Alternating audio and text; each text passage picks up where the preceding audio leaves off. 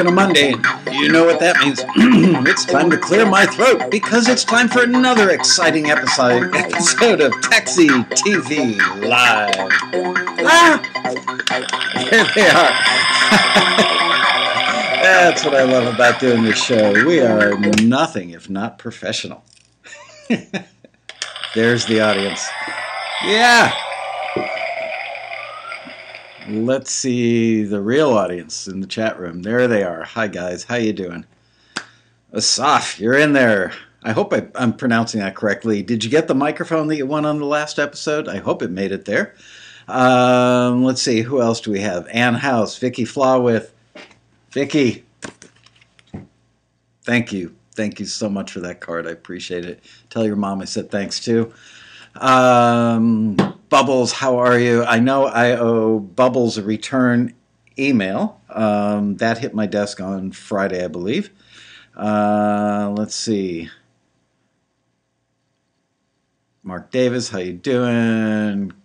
Kenda Potter, Howling, Howling Ulf. Uh, anyway, hello guys.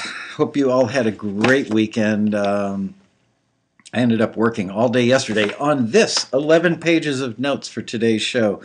But uh, I also went to the NAMM show. I got to show you guys something pretty cool. Let's see if I can find this in a hurry. Yes, it's that time of the year where the sun is shining through my blinds at a weird time of day. So I went to the NAMM show the other day, just Saturday, for a particular meeting with um, the wonderful folks at Paul Reed Smith PRS Guitars because they were kind enough – to give us some beautiful acoustic guitars for the Road Rally open mic sessions this year. And while I was at the booth, none other, let's see if we can get that looking good. Not that great. Um, yeah. Anyway, Paul Reed Smith stopped by and I met with him for a couple minutes and got a shot with him. And uh, I said something about, thank you so much. It's not every day you get to take a picture with a legend. And he said, I feel like I'm the one with the legend. I said, Really? What would make you say that? And he said, Because I've been reading your emails for eons. So, Paul Reed Smith, thank you for reading the emails. Thanks for being on the list. I hope you watch Taxi TV. Um, thank you for loaning us those spectacularly incredible sounding acoustic guitars, which, if you guys don't know, it seems like nobody knows this. But PRS actually makes these acoustic guitars that I think retail for like 500 bucks or less that are gorgeous. I would have thought these things were like twelve hundred to two thousand dollars. I am not kidding. The craftsmanship was gorgeous. They sounded beautiful. Um, people at the road rally loved them, and they were like five. I think one of them was five hundred and fifteen bucks. Was the sticker on it or street price? I don't know, whatever. Bottom line is PRS makes really good sounding, really incredible looking um, acoustic guitar. So check those out. All right, without any further ado, I'm going to jump right into the show for today.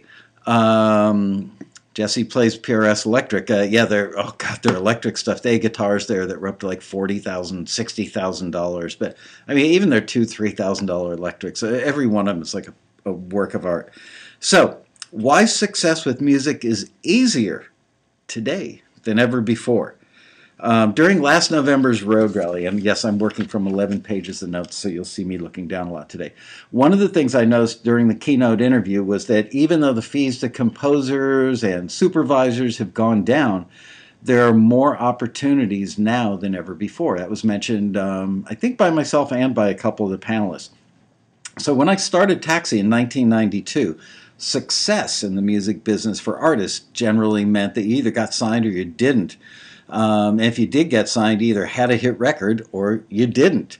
Um, for songwriters, success was having a top 10 or a number one hit. You either did or you didn't. You know, having like a 97 didn't really count, or not charting at all, definitely not good. So success is pretty much a zero sum game. Let me see how my volume is doing. It was pretty much a, a zero sum game, you know, very uh, kind of black and white. You either were successful or you weren't. That was it. And I think a lot of people assumed that um, I, am not going to try. I, I, think that a lot of people today still think I'm not going to try because what are the chances of me having, a, you know, like a top 10 country hit? What are the chances of me signing a record deal? Um, So people just don't even try. And then they think, oh, yeah, you know, I mean, they've heard there's so much bad information out there. Not that uh, what I'm about to say is necessarily bad or wrong information, but I think that a lot of people think that they're going to get screwed if they work with a record label. And look, record labels are in business to make money, but they only make money if they are making you successful. And while you won't sell many um, downloads these days or CDs, that's for sure, um, some artists always break through, and those artists get big enough vis a vis radio airplay and YouTube and whatever else, and they end up touring and they end up making just untold amounts of money from that. Not a lot of people, but some new ones always break through. But I think most musicians still hold on to that belief, and therefore they just don't bother to get into the game because they think it's an unachievable goal, and the odds of having success, um, by that old definition, are just too great. So, um, other musicians try to get into the game, but they don't find success quickly enough. So they just pick up their bat and their ball and they put their tail between their legs and they go home. It's that simple. They're done. So I, I, was thinking about success while reflecting on the comments made during that keynote at our convention, and a taxi member named Gary Sredzinski popped into my head. Not the easiest name to remember or pronounce, but it does pop into my head pretty frequently because I love this guy. Um, I've mentioned him on the show before. Gary's far from being the archetypal music business success story. Um, the odds couldn't weigh more heavily against him, actually. For starters, he lives in a tiny town called Kittery Point, Maine. Gorgeous and tiny, and it's about as far away from Hollywood as you can geographically get in the United States. I mean, it's in the other corner of the country, okay? It's very close to the New Hampshire border. Um, it, it, gorgeous. I, have been there. I actually flew out there and had dinner with the guy and hung out with him, and I, I love him. I mean, Gary is just an awesome human being but he's not hip. He, he's not a 20 something guy who looks like a rock star. Um, his primary instrument, get ready for this, is the accordion. Yes, it is the accordion. Gary Sredzinski is a success in the music industry playing the accordion. He's got a band that plays out regularly, um, and he's a successful film and TV composer, often playing nothing more than his accordion. And here are just some of his credits. I don't even know if these are all that updated. I found them on his website, but I have a funny feeling that there are more credits than he has up there. Um, feature films with Paramount. Uh, the Bad News Bears with Billy Bob Thornton had a song in there. Um, Fox, uh, remember Meet Dave with Eddie Murphy? Had a song in that. Uh, remember the Fox film, The A Team, the, the redo of The A Team with Liam Neeson and Bradley Cooper? Had a song in that. Um, remember, this one was a while back, but Love Hurts with Jenna Elfman, Janeane Garofalo, and Carrie-Anne Moss. That was an indie picture. It did pretty well. He had a song in that. TV. He's had um, something in Hemlock Grove on Netflix, How I Met Your Mother uh, on CBS, um, The Middle on ABC, Gotham on Fox, Unforgettable on CBS, uh, The Love Monkey on MTV slash CBS, uh, Everybody Hates, Hates Chris, uh, CW Network, um, music in three episodes of Chaos on CBS. Excuse me, there was my uh, weekly rockstar burp. Um, let's see, The Philanthropist on NBC, Dirty Sexy Money. Whatever happened to that show? That show wasn't so bad. I think it got dropped. Uh, Dirty Sexy Money on ABC, he had a song in there. Brothers and Sisters had something uh, promo campaign there. Make It or Break It on ABC Family, um, USA Network, Royal Pains, um, Food Network, uh, music for a Polish restaurant in Ham Hamtramck. I can't even say that word. Hamtram, Michigan. Uh, and Elite DLC video game. He did an ad trailer for Call of Duty. So Gary is one of the sweetest, nicest, most positive, and most grateful taxi members I know. And Gary is successful. Maybe he's not successful by Mick Jagger's definition of success, but he's wildly successful by Gary Sredzinski's definition. Okay? He's doing something he loves, and he's incredibly enthusiastic about it. And I mean incredibly enthusiastic in a great way about it. And he's getting paid for doing it all while living in a small house out in the middle of the woods. And I mean, you got to drive down like a dirt road surrounded by trees on both sides of you Um, and you get to this adorable little house. I, I think he might have moved. Last time I visited him, the only time I visited with him, he had like this magical little house sitting right on a creek, and he's known as the Creek Man. Uh, Gary puts on a wetsuit, and even in the dead of winter, swims miles a day with a wetsuit on and a mask and a snorkel, uh, at least a mask and a wetsuit, in this saltwater. I believe it's a saltwater creek because he's got lobsters in there. He's got a collection of. Uh, um, like World War II and Revolutionary War bottles that he's found in this creek, just all kinds of interesting historical stuff that he's found in the creek. Um, and dear God, don't eat a lobster with Gary. He took me to a lobster joint when we were there, and I had a lobster, and he looked forlorn. I said, "What's the matter?" He goes, "You're eating one of my friends." Gary sees lobsters in the creek, so he's become friendly with them. But Gary lives his, you know, Gary's life on Gary's terms, and he's just a spectacularly great, enthusiastic, and grateful guy. Um, doesn't have a fancy home studio, and he doesn't play a wide range of instruments. Um, it may be that he only plays keys. I don't think I saw any stringed instruments in his house. I could be wrong. Um, but if he needs other instruments on a recording, he's got bandmates from his band, The Surfs, and he gets them in to play stuff for other local musicians. If a feature film needs a polka, Gary has it. If a TV show needs a beachy surf rock thing, Gary hammers one out on his accordion and gets placements because he's doing something so different that it stands out. So he may not be a rock star with a house in Beverly Hills and all that kind of stuff, but Gary is awesomely cool and he's filled with unbridled enthusiasm, and his definition of success is perfect for Gary Sredzinski. So he sent me this email. Um, I got scroll back down in the chat room there. I, I was looking for something about this. Um, about Gary, and I found this email from March 13th of 2012. It's 7:58 p.m. Uh, Michael, once again, thanks so much for taxiing the connections I've made. The publisher Taxi hooked me up with is still doing well by me. And then he copied me on an email from the publisher. Just placed your song Last Demon of Bucharest in an Activision online trailer ad for Call of Duty. Uh, total fee was 1500 bucks, um, half years when we get payment. Uh, and then he said, when the art section in our local newspaper used me in a quiz below, it really dawned on me how thankful I am. Uh, I never told the paper about this. So many musicians would just love to get a tune in a movie. So thanks to you, buddy. I'm building quite the resume and realize how cool you've made my life, Michael. Love you, bro. Gary Sredzinski. And then this is the actual quiz that was in the local newspaper. Um, which film did not feature an original song by Gary Sredzinski?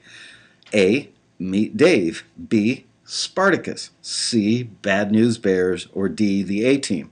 And the answer, of course, if you were paying attention five minutes ago, the answer is Spartacus. That's the only film of those that did not have one of Gary's songs in it.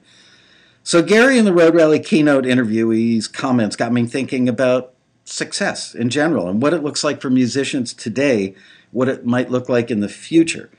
And I think that success is easier than ever because it's no longer only a record deal, only a hit record, only hit song, or nothing at all. It's no longer an either or zero sum game.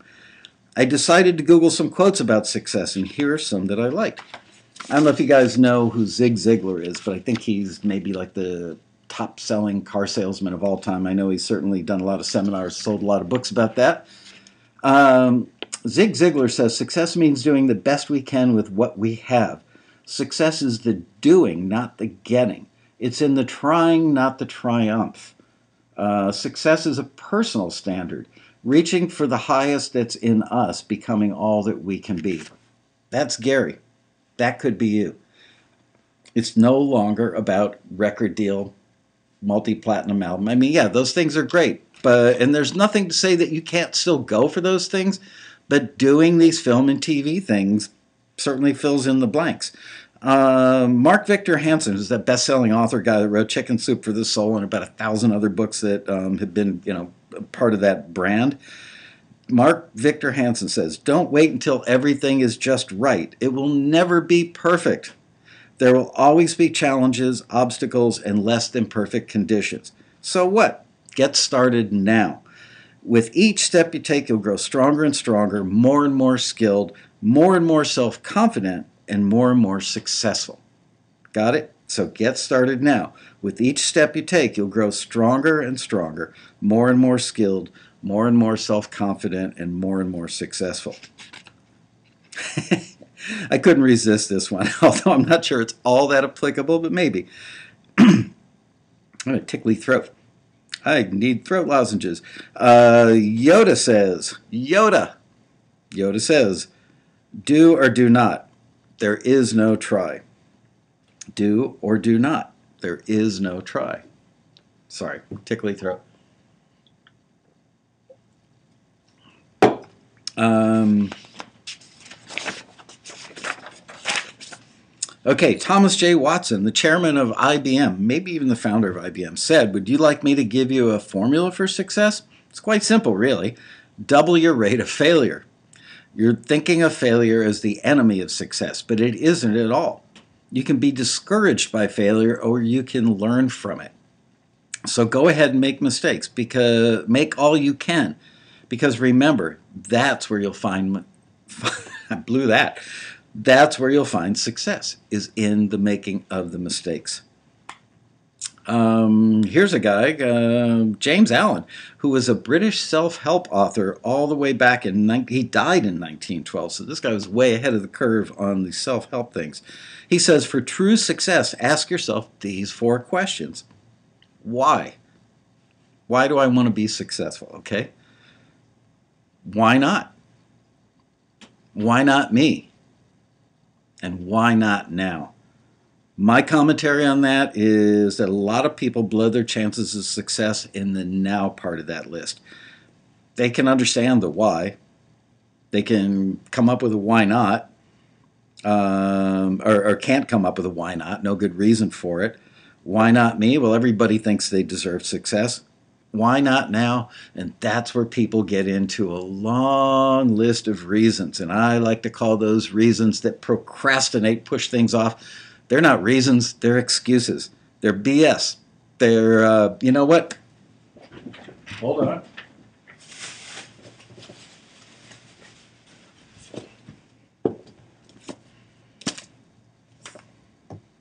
Read this book. It's called Do the Work. Excuse me, by Steven Pressfield. Read this book, and you will get past the why not now, um, and you will no longer procrastinate, okay? Also, read his book, The War of Art. I'm telling you, these two books have changed the lives of so many taxi members that if you don't invest 20 bucks in these books, you're nuts. Don't be nuts.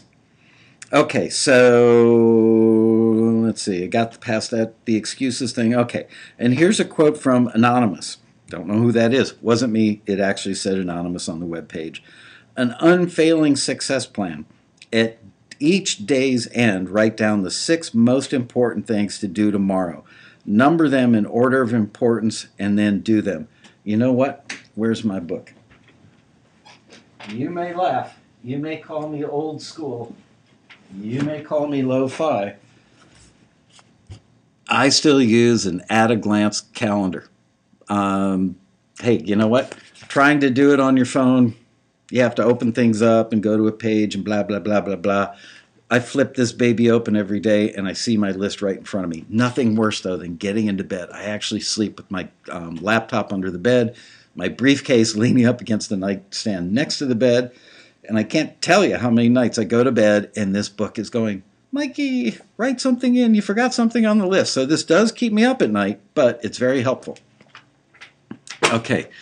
Um,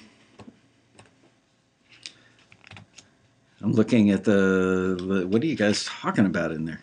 Pay attention, damn it. I worked really hard on this. 3,900 words of hard. Um, okay, so Anonymous says that at each day's end, write down the six most important things to do tomorrow, number them in order of importance, and then do them. Here's a comment by marketing expert Bob Bly about the people who buy success courses online and then wonder why the course didn't work.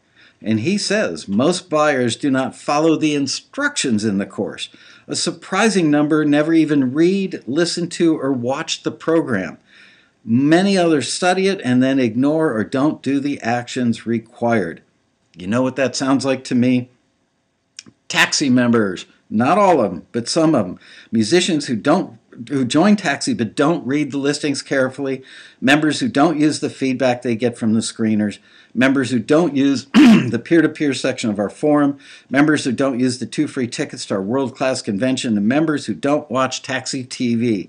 And they wonder why they're not successful. And then Gary Sredzinski, who plays the accordion and lives geographically as far away as you can get from Los Angeles in America as you could possibly get, and yet he's successful. Hang on. The boss needs to see if he's got his emergency stash of throat lozenges. Yes, he does. All right, you guys are going to have to tolerate me with a throat lozenge slogging around while I do this, but I have a tickle. Okay. Hmm.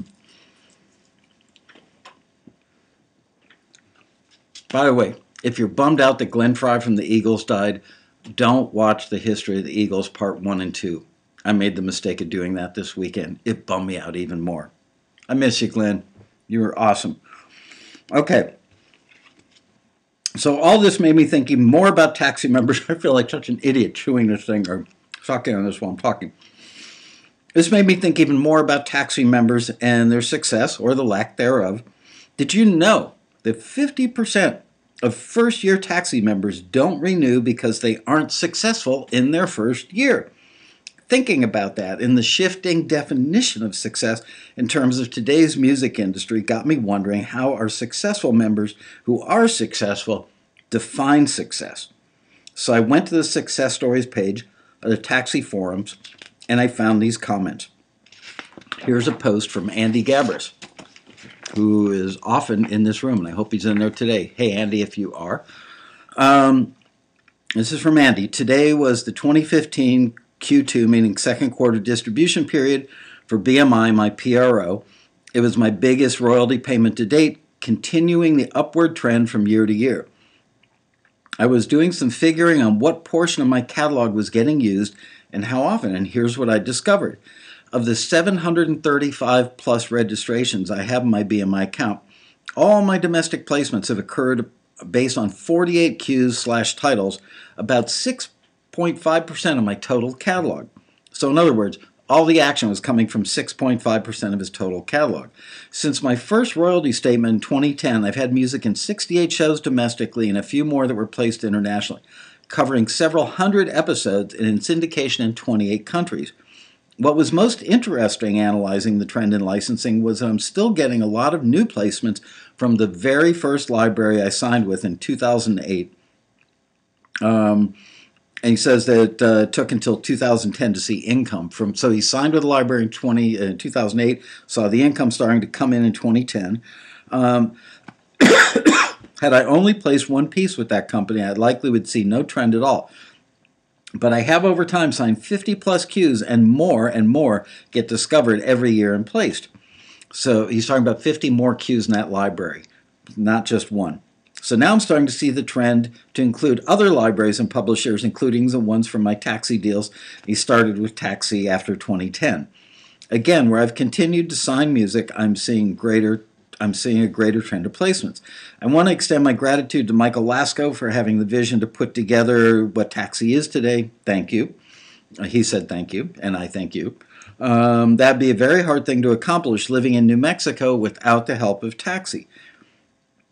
So, um, what I loved about that is Andy is grateful. He's publicly showing gratitude. Not that he's kissing my butt in public, I, I don't care about that, but he's saying thank you like going to somebody's house and not bringing a bottle of wine or flowers, you know? He's no slob. He said thank you. So then there was another post. Uh, the title of it was If if it were not for taxi, I would have never gotten my first deal. That's a fact. Because I learned things I didn't know and did not write and produce at the same level. And I still have much to learn and improve before joining taxi. Um, gratitude is an understatement, and that's from Lauren DeGiorgi. And I think Lauren is in the house today. So thank you, Lauren. Gratitude is very, very common among successful taxi members. They're grateful for the success they have now, no matter what level it's at. So that's what I'm talking about. they're grateful, even though, I mean, this gentleman, Lauren DeGiorgi, just got his first deal. Not Mick Jagger, doesn't fly around in a private jet, doesn't live in a castle somewhere in the UK. He just got a deal. It's a small thing, but it's not nothing, and he's grateful for it. Here's another one. Taxi Forward becomes, and by the way, these were all posted on the, the front page of the success story part of our online forum at forums with an S, forums.taxi.com. Um, and I didn't pick out the ones that only had complimentary things to say. I just took like every other one or every third one or something and, and copied them and pasted them in this document. So here's one called Taxi Forward becomes another library deal. I just got off the phone with the list uh, or with the owner of an A-list prestigious music library in Greater LA. Taxi forwarded some of my crime show music to him a while back, and he loved the stuff. Contracts are on the way. On the phone, the owner was telling me that he gets so much music that it takes a lot of time to go through the things that get sent to him. So that's why it took him a couple of months to get to me. I didn't know while on the phone when the cues had been forwarded to him it's a non-issue for me. After all, he's signing my stuff. But I just looked back at my for looked back in my forwards, and it looks like these were from October and November. You've heard Michael Laskow say it, folks. This is just the way the industry works. Keep making music and getting it out there. Let the rest take care of itself. There's no sense staring at the phone, that's for sure. Thanks, Taxi. Thanks, Michael. Thanks, screener number 53 and screener number 319. I think I may just keep you said tongue in cheek, um, by Russell Landwehr. Russell is grateful. All these guys are grateful. They're expressing their gratitude, right? Hey, there's Lauren DeGiorgi. Hey, Lauren. Um, Okay, here's another one. Two instrumental signed. Hi all, excited to tell you that I have a couple placements for the undermentioned listings with the library. Taxi listing U151208 BC, blues instrumental cues. Uh, another one, Taxi U15 111 uh, 1117 TC, traditional country. In the November 18th, or um, part of this got cut off, so I filled it back in. When the November 18th newsletter came out, Amongst other great info, Michael said this quote, Step one, figure out what you do best and concentrate on only that one thing to start out. Step two, forget about writing songs, at least for now, and concentrate on just doing instrumental cues for the time being, unquote. So I did, and I got those two placements. It works. Thanks to everyone who chimed in with the critiques and advice, and thanks, Taxi, and that's from Steve J. Curtis. Steve is grateful. He's showing his gratitude. Here's another one. Tracking a reality TV show. Thank you, Taxi. Gratitude right up front there. I just wanted to say thank you to Michael and the team at Taxi once again. You guys are dream makers. I found out on December 31st an instrumental track I have in a library uh, was placed in a reality TV show last year in August. Um, and I made money. Not a lot, but that's not the point my GYAWS, that's Get Your Ass Writing Songs friend, Jimmy Carvalho, said, It's about validation. Yes, sir, it is, he says. Thanks to my family at Taxi, the best kept secret of the music business. John Colombo. John Colombo is grateful. Okay, got a couple more of these guys. Major milestone, 1,000 cues signed. And this one is from Matt Vanderbo. Hey, Matt, hope you're watching, dude. Uh, just last night, I submitted a package of tracks to a music library I work with quite regularly, and after inputting them into my spreadsheet, uh, I realized I finally crested the thousand track signed milestone. Although I suppose that may be a little misleading, as hundreds of those are non exclusive signings in which I've retitled the track and counting the same piece multiple times, but still, it's a thousand and one seven a thousand and seven unique titles that I got out there I've got out there working for me, not counting all the alt mixes of each track. If only I had a social life, I'd celebrate. If I remember correctly, Matt Vanderbo has a young child, like a maybe a year old baby, so he's not having much of a social life right now. For those who are interested, it breaks down like this 568 exclusive tracks, 439 non exclusive titles. Um, only 20 of them are full length songs with vocals, the rest are all cues. Whew! You know who or what I can thank for this? Taxi and the Road Rally. Those two things have introduced me to some really great libraries and countless great friends, a handful of people who took me under their wing when I was just a newbie and showed me the ropes and helped me figure out this whole thing. The complete taxi experience can truly be life changing if you embrace it all and keep plugging away. Deep breath, he says. On to the next thousand. Matt Vanderbo. Matt is grateful. Okay, so I, I don't want to, I've got more of these things, but I don't want you. You know what? I didn't go search these things out that all said taxi is wonderful, taxi is great. This is not a commercial for taxi. It's to simply make a point for you guys. Um, I'm actually doing pretty well on time. So, all right, I'm going to read you one long one. All right, this one's from Robbie Hancock. Um, music library, song placement, and progress review. One of my songs, co written by Amanda Anderson, has been placed in three non exclusive music libraries over the past few weeks. Great addition to the holidays. Thanks again to those who helped me out and commented on its production journey in P2P, meaning the peer to peer section of the Taxi Forum, and GYAWS for the inspiration. Um, here's the final version. It's called One Side of the Sun. Our Side of the Sun, sorry. I also just wanted to mention after reviewing my own progress here since joining Taxi, I am definitely starting to see progress. I just want to take a uh, I just want to break it down for myself and share some of the newer share with some of the newer members to show how important it is to really read and write to the listings and more importantly stick with it. The following also emphasizes how important returns are and that they should not be dismissed. They should be printed and studied. That became a big part of my contemporary music education. Kudos to taxi member James Koshin here as well as for his encouraging me to do this. Thank you also to the screeners for not crushing my dreams on those initial submissions to LOL. Here's what I discovered. In 2013, he made 81 submissions, got three forwards, and 78 returns. So his ratio is 1 out of 27 for the forwards. Not that good. Not horrible, I've heard worse. Um, 2014, he only made 37 submissions because he realized, Robbie realized that he probably had new memberitis. People get very excited and start taking pot shots at a lot of stuff when they first join, and they get very discouraged when they don't get forwarded. They're not getting forwarded. Be, it's not happening because they're terrible. It's happening because most often they're submitting the wrong thing for the wrong listing. And they eventually calm down, like Robbie did in his next year, 2014, with only 37 submissions and then he got six forwards and 31 returns. So all of a sudden his ratio went from 1 in 27 to 1 in 6. Then in 2015, he was starting to feel a little better, a little more confident. He'd been around, he'd been to the road rally, he has friends that are, you know, lots of friends that are taxi members. He made 45 submissions, got 11 forwards and 34 returns. Now his ratio is 1 in 4. He's got a 25% forward ratio. That's really good. Um,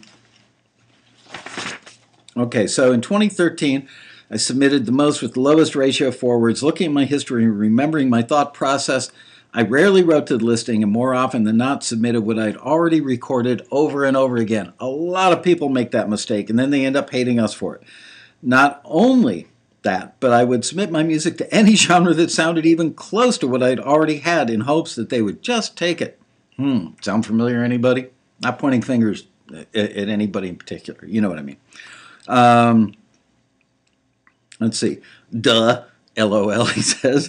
From the, the numbers, this obviously was a tough year, and I would have given up if not for the help of the forum, Taxi TV, and my first road rally. Common thread, right? A huge thank you to those members in the beginning who took the time to help me and point me in the right direction. Gratitude. 2014, I started to get it. I adopted the mantra of write, submit, forget, and repeat. I watched every episode of Taxi TV and all the archives. Wow, good job on that. And really read my returns. Uh, he means his feedback from the returns, and more importantly, started really reading the listings and listening to all the reference tracks. This was huge for me. I more than halved my submissions, cut them in half, um, and my forward to return ratio improved dramatically. It's also the year that I got my first film placement and library deal. Just saying. In 2015, I have a 1 to 4 re, uh, forward to return ratio, and that's something I'm very proud of. It means I'm totally improving and getting better at making contemporary music for today's industry. It means I'm learning from my returns, as hard as it might be at times for someone to tell you that your babies are ugly. LOL. Uh, on the way to the 2014 Road Rally, sitting on a plane next to a businessman who was a marketing sales guy for a corporation. He was such a good person. After I told him where I was going and what I was trying to accomplish, he simply said, fail fast. He was right. Get over it. Move on, work on something else, and learn to write, submit, forget, repeat as passed down from senior members here on the forum. Not saying that they are old, the members he means. Write, submit, forget, and repeat. There you go. That's the mantra. Thank you, Stephen Giles, for printing these little suckers. Okay. Mojo Bone agrees, says, fail fast. Absolutely. The more frequently you fa- that you fail, the better you will become, and the more quickly you will become better. Um, let's see. Thanks to taxi members, staff, screeners, returns, and, and, through the community, I've signed my music to 15 libraries in the US and Canada and just received my first international placement in 2015, a collaboration with another member, Andy Gabris, uh, who was one of my first mentors here on the forum. None of this would have happened if I had not joined Taxi. I also had my first deal from a Taxi Forward in 2015. Success to me is learning from my mistakes and failing fast. It takes a lot of determination to, to be able to keep failing and see it as a positive step forward. I wanted to share my story for those that are struggling at the beginning like I was. Never give up, never surrender. I'm pretty I'm a pretty friendly member so feel to reach sorry pretty friendly member, so feel free to reach out if you want some advice, some fresh ears, or just a new taxi pal. Thank you so much, Michael Laskow, for changing my life. I can see this is going to be a fun ride. All the best for 2016, and that's from Robbie Hancock. Yet another person showing gratitude, a lot of gratitude. Thank you, Robbie. So, what these people seem to have in common, and, and they're just a tiny fraction of the folks in the success story forum. I mean, we've got like, I don't know, somewhere around 50 pages or more of these things. And on those 50 pages of stories like this, they represent only a tiny little fraction of all of our members and our successful members. Most people don't take the time to post their success stories. Um, anyway, even though they're a tiny fraction, um, these people have expressed similar feelings, and that is that they understand that success comes in all shapes and all sizes, and the definition of success for them, for them, not Mick Jagger, seems to be slicing off one piece of that salami at a time rather than expecting to eat the whole damn thing in one gulp. Take it a slice at a time. Never mind, I'm not even going there. Um, they understand that constant learning, patience, feedback, and forward momentum all come with time and work. They've set realistic goals and they use their failures as learning opportunities, and each success is motivation to reach for yet bigger goals, right? So success could be here, and then you reach to the next goal and succeed there. Got it? Got it. Um, the other thing they all seem to have in common, and you should know those forum posts were picked at random and in a hurry.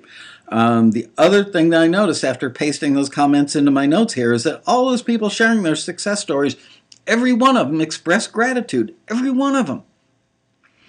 So, much has been said about the attitude of gratitude. Here are a couple of thoughts from a successful entrepreneur, investor, and uh, business columnist named Adam Toren. He says, Gratitude is contagious. I can't speak for you, but I personally don't like being in business with jerks. Who does? I don't like whiners, complainers, or otherwise unpleasant to be around people. There are too many smart, talented, and pleasing to be around people uh, in this world for me to want to work or hire the ones that aren't. Duh. When you're grateful, you tend to exude and share that contagious positive energy. People like me like that, and we tend to be drawn to you. Okay? Our energy is contagious. I'm still quoting him, by the way. And we do good things together and are better for having come together. So, I completely agree. I think Mr. Toren is so right. I know so many publishers in this industry who've personally told me how important it is for them to work uh, with artists and composers that they like as people. Do you think that they like those taxi members I just read the forum post from? Hell yes. Why? Because they're grateful. They appreciate stuff. And they're probably, they reciprocate when, you know, they get a nice note from a publisher, I got a placement for you. I'm sure they send a nice note back. Thank you so much. It's good. It cuts both ways.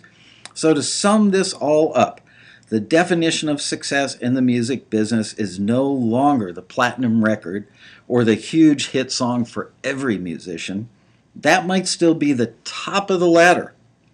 But success is also the journey and not just the destination. Success is not a one size fits all thing anymore. It's a different thing for different people and at different times in their lives. One thing seems obvious to me, and that is the definition of success shifts with each new step of the ladder. Every step you climb is success. All right? Learning from mistakes and failures, that's success. Crafting a piece of music that's better than the last one you made, that's success. Getting that piece of music forwarded by Taxi's A&R staff, that's success. Being offered a deal from a publisher after being forwarded, definitely a success. Getting a placement with your music, absolutely a success. Getting a lot of placements with your music, success, no question about it. Earning enough income from getting so many placements with your music that you can quit doing what you don't like and begin earning your living doing what you love, that is success. So success is the entire ladder, not just the top rung. Success is just doing it. Failure, on the other hand, is doing nothing. I'm going to read you these two quotes from Zig Ziglar, Zig Ziglar and Mark Hansen again before I wrap this up. Zig Ziglar says, Success means doing the best we can with what we have. Success is the doing, not the getting. It's the trying, not the triumph. Success is a personal standard, reaching for the highest that is in us, learning to be all that we can be. Mark Victor Hansen, the guy who wrote Chicken Soup for the Soul and a million other best selling books, says, Don't wait until everything is just right. You know, that's the classic. Well, I've been thinking about joining Taxi now for years. I've been reading Michael's emails and following you guys for like a decade. Why haven't you joined yet? Well, I'm waiting until I've got the right music.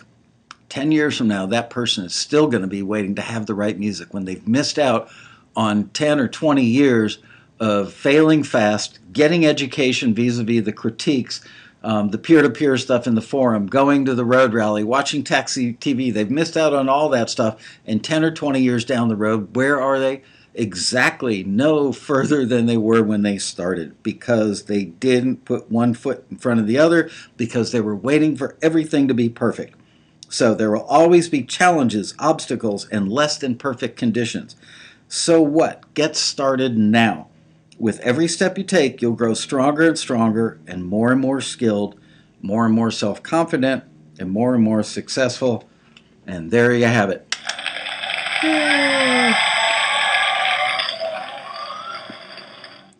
All right.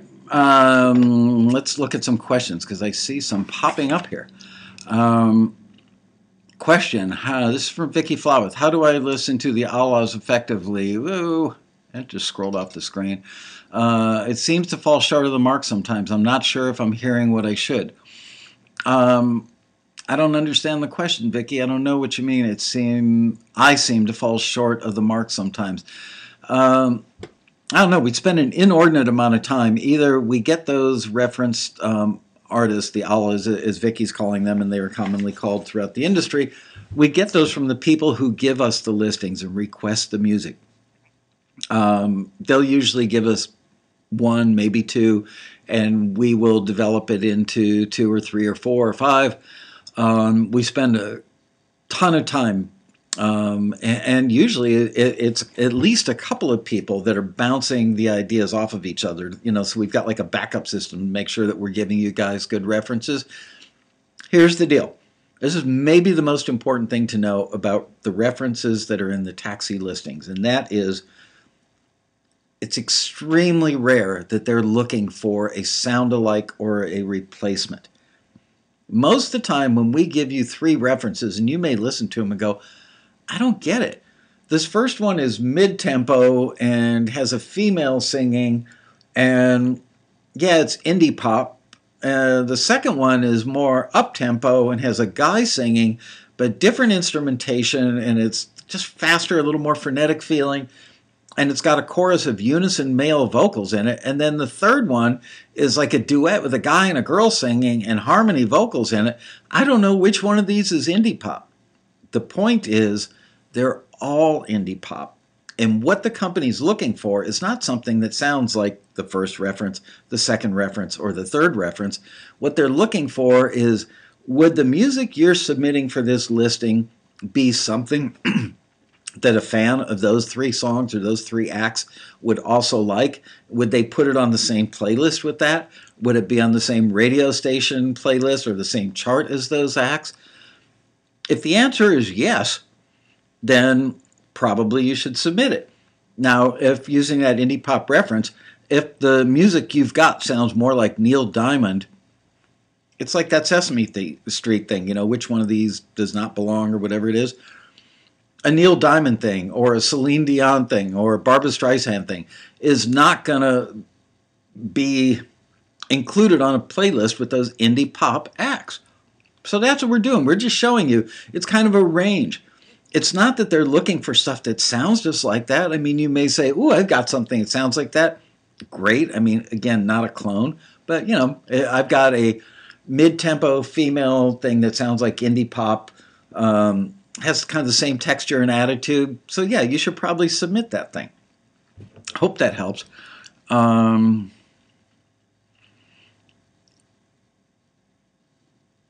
Andy Gabber says, very inspiring show.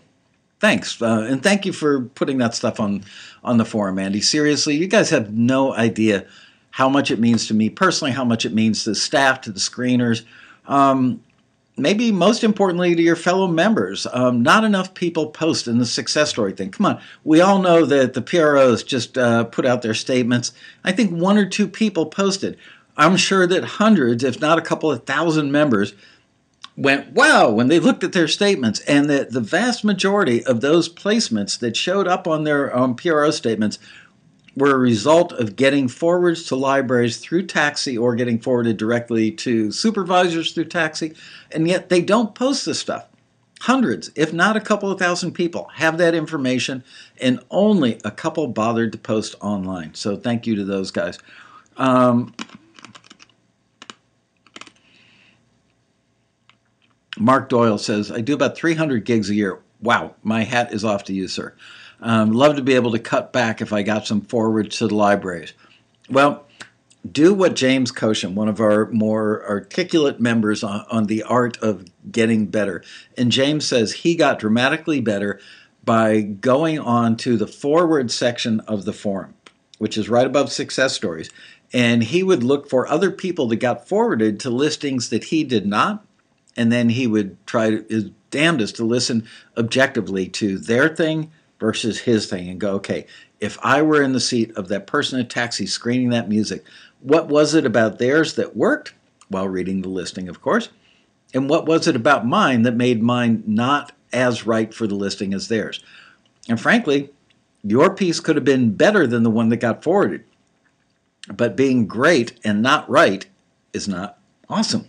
Okay? You need to be great and right.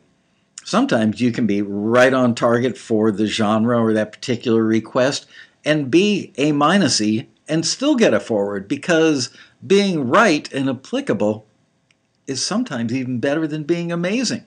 Because amazing and not really right ain't that good. All right. Um,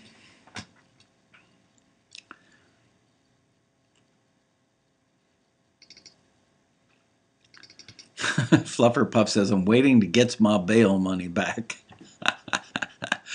uh, there's Robbie Hancock. Hey, Robbie, thank you for that nice piece. I appreciate you posting that in the forum a lot. Um, Mojo Bone says, if you wait till you have the right music, it'll already be out of date. Good point. Great point. Um, Jim Carvalho says Michael for president. No, thank you. No, not even a chance. Um,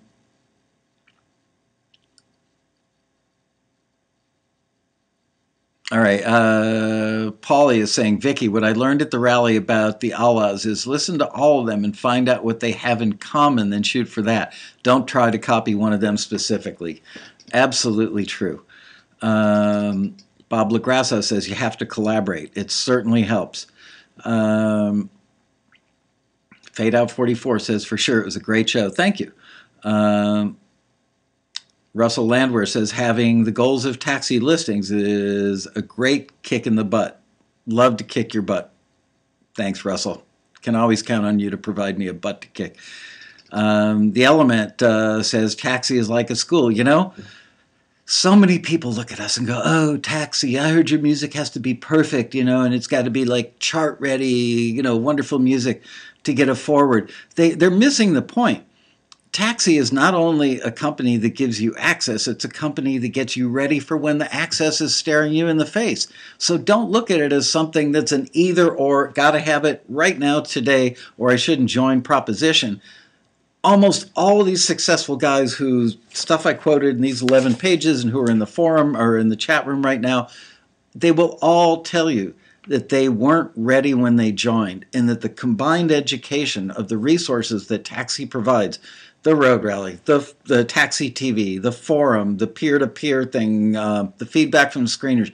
You put it all together, and that's what gets you good enough to start hitting home runs. Um, okay, I'm gonna scroll down because I'm getting lost. Uh, just submitted. Riox says just submitted to my first listing. I'm excited either way. Just excited to get started. That's a great attitude. Um,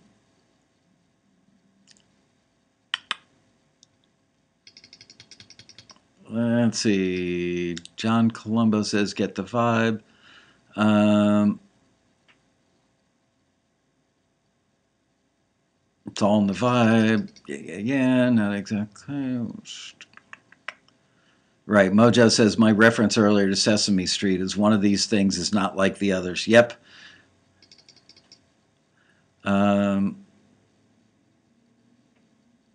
yeah, can I just, uh, boy, this is a tough one, but I'm going to tackle it. Um, WCSD producer one says, Can you define the difference between broadcast quality and a great sounding home recording? Frankly, they can both be the same thing. Um, broadcast quality, uh, I've done entire shows on this, I think several times, and we've got all kinds of stuff on the website about it there is no exact definition for broadcast quality. I will tell you that it used to be either studio quality or demo quality. But in the film and TV world, they need something that's ready to go right now that they can put on the air, or at least very soon. So they don't want to hear a demo and go, Ooh, I love the song. This would work great for my TV show. And then call you up and go, Hey, dude, I love this song you've got, but um, I can't use a demo. So can you go re record it and then get me a mix back in 24 hours? That's not going to happen. Most of the time, people will not pull that off, and, and they just need to go with the bird in hand versus the two in the bush. So um, they want something that is better than demo quality, but probably doesn't, in some or many cases, need to be like an amazing, you know, done in a multi million dollar studio quality. What they need is something that's cleanly recorded, wonderfully performed as far as the hands, you know, and the performances of the musicians. Um, and captures a vibe and creates an emotion or helps support an underlying emotion in a scene. And broadcast quality is all that stuff. Broadcast quality could be, and I've used this example many, many times, could be a six string guitar with 10 year old strings that are even rusty on it. And the guitar doesn't sparkle and sound great like those Paul Reed Smith guitars at the Road Rally. It sounds like that $100 Stella your parents got you for your 13th birthday or something. Sounds like crap, but you know what? You take that really crappy sounding guitar with the rusty strings and a Tom Waits, you know, gravelly, smoky. I had a few too many uh, shots of Jack last night, gravelly voice, and you put that together with the song about being down and out and there's a little pitchiness, maybe a lot of pitchiness in the vocal, and maybe a little bit of off tuning um, or bad tuning on the guitar. You put that all together, any one of those things would be enough to knock it out of contention most of the time.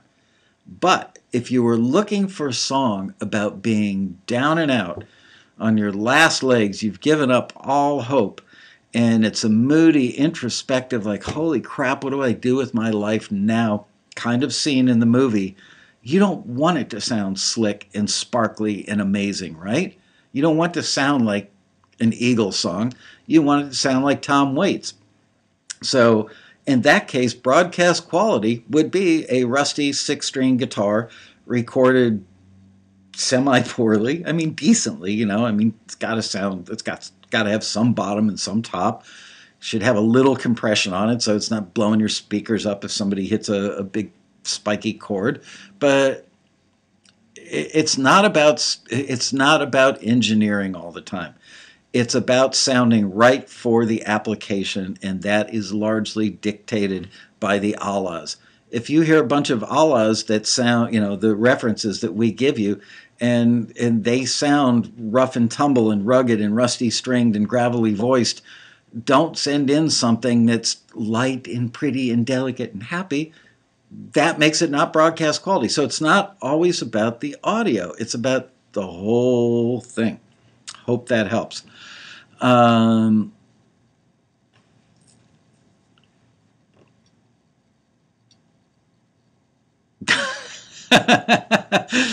Polly says, good thing the pop-up ad is all about Vaseline. I could use some the way my browser is treating me.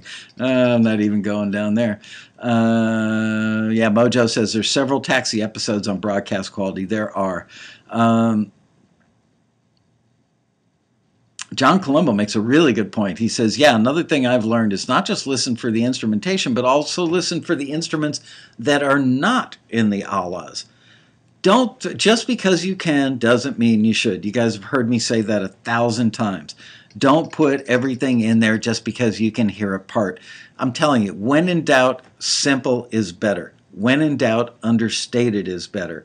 When in doubt, never try and show a music supervisor or a music library that you're a frigging genius at anything. They don't want genius guitar players. They don't want genius composers. They want people that understand what the job of a piece of music is. And that job is almost always to support a scene in a TV show, movie, commercial, video game, what have you. It's not the star, it's the background. A lot of times it's so far in the background you feel it more than you actually hear it, which I think is ironic when they do run these listings. Of course, all the libraries say, give us broadcast quality. Uh, and then the stuff is mixed so low, who the hell could tell? But you know what? A decent balance. If, if it's got too much bottom, like this, that's not broadcast quality, right? But if it's like that and it's really sibilant, that's not broadcast quality either this is broadcast quality, even though I'm using, you know, a, a relatively inexpensive, um, uh, whatever you call those cameras with a built-in microphone. You know, uh, it's it sounds like me. I've listened to the shows. Sounds pretty much like me. That's broadcast quality. Um, okay, I need to scroll down. I'm still stuck on people talking about broadcast quality. Um, how good do music cues need to be? When does perfecting a track begin to have diminishing returns? Um, almost always. The people who are out there making money doing this will tell you write, submit, record, or write, submit, write, record, submit. Yeah, that. Here. Write, submit, forget, repeat. Um, if you're spending, you know, more than a few hours or a day, an evening on a cue, you've probably spent too much time. And start out simply. You've heard me say this a thousand times go for if you're a guitar player, start out with just twangy acoustic guitar stuff that would work on Duck Dynasty. One acoustic guitar doing whole note strums, another one maybe doing some finger picking, pan them opposite each other, and maybe a slide dobro down the middle. Here, undo it like that. Slide dobro. It looks better going sideways. You know what I'm saying? Slide dobro, okay? Um, or maybe a little banjo. But don't try and show them that you're the best banjo picker in the world because it's going to be too busy and it's going to distract from the dialogue. It's going to distract from the action in the scene. Your music needs to tell the viewers subconsciously almost where are, are you in Paris? That would be an accordion or a concertina, concertina playing something as you're standing on a bridge looking out over the Seine at the Eiffel Tower off in the distance, right? What if you were in a cantina in Mexico on a blazing hot day? What would you hear there? If you were in a movie about a nightclub um, with a bunch of gorgeous women in sexy dresses and guys in expensive suits driving beautiful cars. And these are the beautiful, rich, cocaine snorting, alcohol drinking, vapid people that go to clubs. Um, what would you hear in that club? What about uh, a swanky uh, restaurant, a fine dining restaurant? You'd probably hear a string quartet playing gently in the background. So, all those things do is set you up for a place and a time and a mood. The music, nobody is going to pay the pay attention to the music like you will, but the person who is putting the music in the show, even though it really almost sadly doesn't count in a lot of cases, if they're given 10 final options, they're going to pick the best option, not the least good one. And the best option is the one that works best in the scene. And there's just no way for you or the taxi screener or for me or for anybody but the supervisor to know what works best against picture. And ultimately, the supervisor is going to play it for the show's producer and find out if they're right.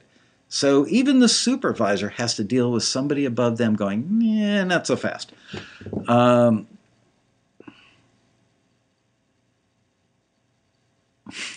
Uh, Timber Tim wants to know with respect to the cues, would it not be possible to obtain an image or snippet of the video that would allow us to create music that supports the video? No. Um, can you imagine NBC giving us a piece of uh, I'm not even sure what network. I think the Blacklist is on NBC. Can you imagine them giving us a scene from next week's episode of the Blacklist and letting us send it out to you know 10,000 people or 100,000 people or even one person? No. I mean, the guy who's scoring the show, yes, because he's a trusted member of the inner circle. He's not going to share that with anybody. But they can't. This stuff is proprietary. It's the episode is a secret till it airs. Um, TV commercials same thing. They don't want to take a chance on, uh, if you're working on a Nike commercial, they don't want Reebok seeing it, so they're not going to give it to thousands of musicians so they can end up in the hands of Reebok, and Reebok can then go call their um, ad agency and say, We need a, a, TV commercial like that. We need it in a week, and we need it to be on that theme, but better. So let's go kick Reebok's uh, or Nike's ass. No, they keep this stuff private. Um, Okay, scrolling down to get caught up again. Um, yeah, I am on a delay to the chat. I'm I'm skipping a whole bunch of stuff. Uh, I do my banjo on my keyboard, and it's a boatload of work to make it sound real. But you know what, Waddy? That's what it takes because they can hear a MIDI sounding banjo that doesn't have the right articulations and stuff. They can spot that a mile away. They want stuff that sounds real. Frankly, for it, a Gitanjo at Guitar Center is cheap. I mean, those things I was shocked. I want to say they're like $189. Buy a Gitanjo. I mean, if you can play even the most basic finger picking stuff on a guitar, get a Gitanjo and do it for real. If you can't, then work really hard on those samples. Um, all right. Uh,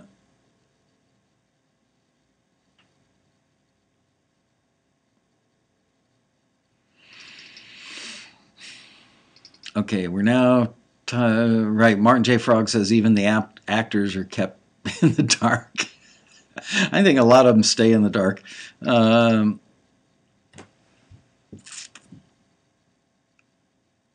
Paulie says, with repetition comes speed. Absolutely. That's what his wife tells him. Look, th- there is no better way to become a successful taxi member, and I'm talking about any level of success on that ladder, um, just doing it. So many people find excuses to not do it, and they stop dead in their tracks and they end up doing nothing at all. They're right where they were. Just do it and plan on failing. Know that you're going to fail. So what? I mean, every time you sat down as a kid with a coloring book and you colored, if you went outside the lines, did you burn the coloring book or throw it away and never color again? No. All right. Uh, does the cue, does the word cue denote any given length? Generally, generalization, because most things are, no hard, fast, exact rules, but generally speaking, cues are like between a minute and three minutes we often, if a company tells us, I don't know, which they do sometimes, we use two minutes as the default. That's a good, safe amount of time. If it's too short, then they have to loop it too much and there's not enough variation in it to keep it interesting. If it's too long, not the world's worst thing. They can always edit it down.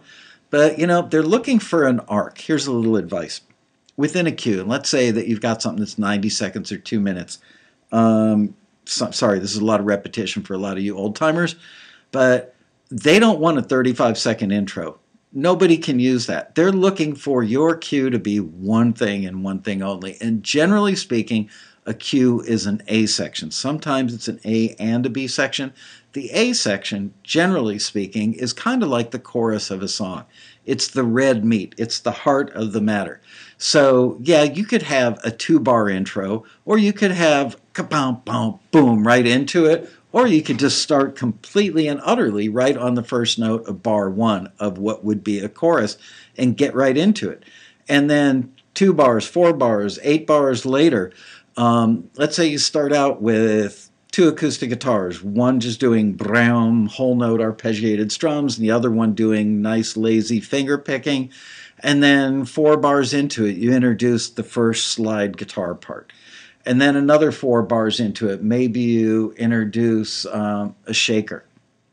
And then you break it down and bring it just back to uh, the two acoustic guitars, and then you build it back up again um, by adding those other instruments back in. And the second time you build it up, maybe you bring in a fourth or fifth instrument instead of just a shaker. Maybe you bring in a tambourine hit, or maybe you double the guitar part, you know, on the whole note strums.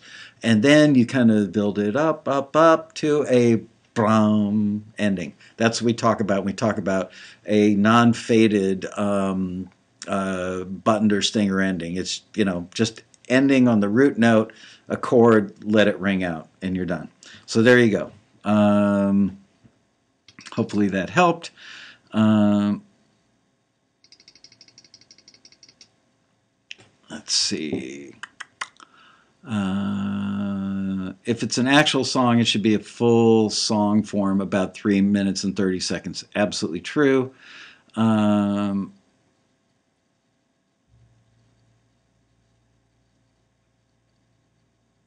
Yep, a Gitanjo, Paulie. They've got them at Guitar Center. Uh, Waddy JP says he got a forward for a hiccup trap that had a keyboard banjo. Awesome. Um,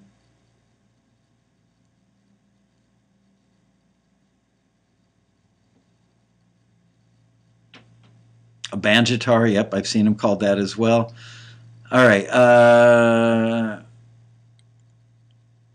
I'm scanning very quickly. I'm going to take a couple more questions and let's wrap it up. Um,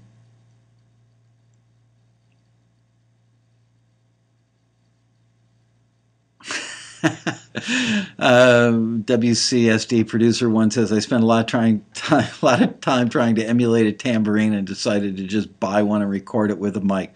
Brilliant. Yes, that is brilliant. You know what?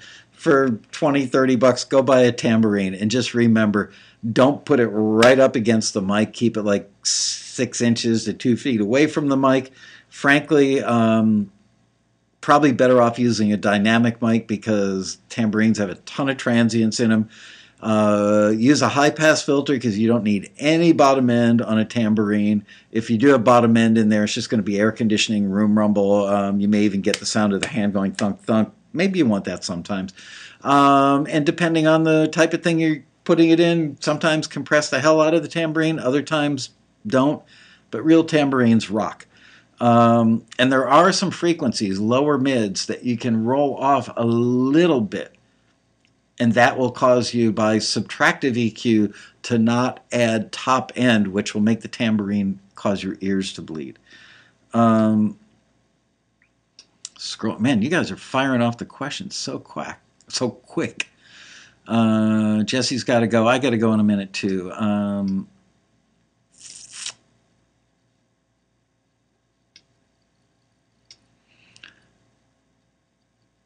Waddy JP says really hard to not put a B section in a two minute cue, but the more you do, the easier it gets. You know, sometimes you can put a B section in there. Here's the problem with the B sections. Think of a B section as like a bridge, okay? The A section is like a chorus. B section would be kind of equivalent to a song's bridge. The supervisors and the editors have one emotion, generally speaking, in a scene. And if they have two emotions, they're going to use two pieces of music they don't expect that your one piece of music that's two minutes long is going to time out wonderfully to here's emotion A, and now, oh, look at that. This other section, the B section, which is like a bridge, happens to line up perfectly with the right mood and the right emotion and the right timing for this other emotion we've got in the same scene where it goes from happy to be mused or confused. So it's just better to stick to one thing. And they'll go to another piece of music. Um, don't try and score anything um, with the cue. Generally speaking, a cue is, is, a transition used for a transition or it's used as wallpaper in the background. Sometimes they're looking for something that sounds like um, a classic rock song or uh, southern rock to be playing in the back of a you know a roadhouse um, bar with peanuts on the floor, peanut shells on the floor, and a bunch of bad guys in there, and there's a jukebox hundred feet away, and pool tables. The sound of the pool, the balls on the pool table clacking against each other will generally be louder in the mix than the music off in the distance. So, what? Just watch TV and look at those scenes and go, what do they need there? Um, sometimes they they want a full song, not just a cue for background source music. That was my point. I forgot to mention it. Is they want a full song that's got like an intro and a verse and a chorus um, and a bridge because they want it to sound like a radio hit playing on that jukebox far away. But they're not going to spend twenty grand to get a radio hit or fifty grand or whatever. Um, you know, they're going to want to drop a thousand or fifteen hundred bucks to get something that sounds like, gee, that sounds, you know, if you listen hard, that sounds like it could have been a hit, but I don't really know what that band is. That's what they're looking for. Um, in those cases, for background source music, source meaning coming out of a source like a jukebox. All right, one more question, then I'm calling it a night. Um, Paulie says he found several banjitars on eBay for about 200 bucks. Yep. Um, Martin Frog says, I've gotten some cool sounds with kitchen utensils and oatmeal cartons. Absolutely. Um, I was just with my friend um, Adam Zelkind on Saturday. And that guy is, you know, he's like ASCAP's number one TV composer for eight years running or something. Um, he is a world class TV composer, mostly for reality shows, but does a lot of other stuff and writes songs at a very high level. And he's famous for using anything. I mean, he'll you know he'll take a sneaker and pound it on a desk and sample it and tweak it, or take two spoons on his cheeks, uh, or take a garbage can lid, or you know a pressure cooker, bounce his kid's head off the wall, whatever it takes. Adam will try all kinds of organic things, sample them pitch them up, pitch them down, compress the hell out of them, and, and add them together and try and make really cool sounds out of them. Uh, got myself, uh, see, Russell says, Michael, I've got myself into a situation where I have more work to do than I can manage, and I'm laying myself thin, and I feel like I'm losing my successful momentum by not focusing. Um, I can tell you exactly what to do, Russell. Um, I can't remember which one of our members said it. Maybe it was in one of the interviews. Could have been you. I, I know you did a great interview for the passenger profile in the taxi transmitter. By the way, if you guys don't take the time to read the articles in the taxi transmitter, you don't know what you're missing. It's like this, but in print, and you can read it at your own leisure. Anyway, whichever member that was, oh, I know who it was. Um, oh, God, I'm drawing a total blank. Um, the wonderful woman who was our um, John Braheny Award winner this year. Why am I not remembering her name? I just saw her picture over the weekend. Lydia. Okay, Lydia Ashton says the secret for her to solving that problem is by not saying yes to everything. Okay? Now, if I may add something that's going to sound really self serving, but it's not, and that is don't say yes to everything. Don't say yes to every collaboration. Um, a lot of times when you get enough pieces in a library, the, the music library owner will add you to a list of favorite composers or favored composers, composers they trust to meet deadlines and not screw up submissions and such. And they will start to send you stuff um, directly telling you what they need all the time. The problem is, is that people are chasing that. It's like chasing the dragon, you know, smoking heroin. You're always chasing that dragon. In the end, you end up with so many pieces, so many eggs in that one basket because you're constantly chasing that list that they're sending you because you feel so special and you don't want them to not like you because you're not responding. Trust me, they've got 100 other people that are responding. They've got 500 people or 1,000 people that are on that list. It's not just 12 people. So they won't miss you if you're not submitting to a lot of those things. And what you're missing is opportunities. We have just added, like, I think three new libraries in the last, what's today, the 25th, 26th, 25th. So, in the first 25 days of the new year, I believe that we've added three great new libraries that I would be willing to bet that none of our members have music in yet. These are, one of them is a library that's been around for like 40, 50 years and not that many people know about them. But these guys are a venerable A-list library, um, and so by chasing the dragon on trying to be, you know, one of 50 or 100 or 500 or 1,000 people all submitting when a library says, we need this kind of music, you're missing out on opportunities to spread your bets and get your eggs in other great baskets. Don't fall for the my publisher syndrome where you get where you, just because somebody shows you some love and makes you feel so good and so validated and so important and then they get you a placement you feel like you know that's your publisher? Trust me they're your publisher today and they may very well be great people. I know most of them personally and they are. A lot of them are great people. Some of them are close friends of mine but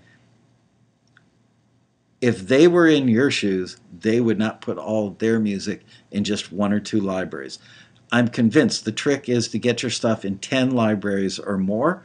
And we've got three new libraries running listings with Taxi just so far this month in 2016. I think that you're going to see a dramatic uptick in the number of great opportunities coming into Taxi very soon.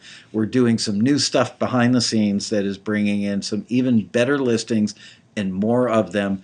So if you are constantly one of those many people chasing that same thing, you're going to end up having a lot of your music in one library or two libraries or three libraries, and they all have their ups and downs. They have periods where they win and periods where they lose. You want to spread your bets and just know if Taxi's running listings for the library, it's a good library. Sometimes they're great libraries. Sometimes they're incredibly great libraries. Um, all right, guys, I am going to call it a night. Um, thank you so much for watching. Um, I put a lot of work into this over the weekend, and uh, I, I, it makes me feel good. This is like when you guys create a cue that gets picked up by a library. I love it when I get a good turnout for a show and where people are really engaged and paying attention. And I just hope that you follow this advice. You know, it comes from the heart. I don't make a penny more if you listen to this stuff or you don't. I just want our members to be successful. There are a lot of shyster companies out there that are taking money from people for fake listings, and it breaks my heart. So I feel like it's our job to always be the company that rises, you know, that we're the guys that get it right for you. So there you go. Have a great week, and I will be back next week with another exciting episode of Taxi TV Live. See you then, guys. Bye bye.